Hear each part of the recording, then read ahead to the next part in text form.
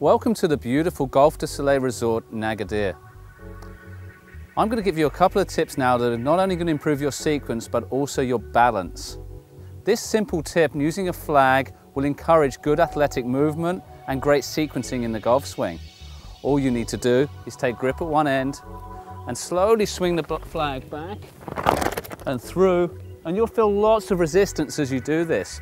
The second thing you will feel as you change direction is that the lower half will initiate that movement. If you watch any of the world's best players over generations of, of the last probably 50 years, they've all had a great lower half movement in their transition. So simply, once again, flag back and through. This will give you a great feeling of strength and power in your swing.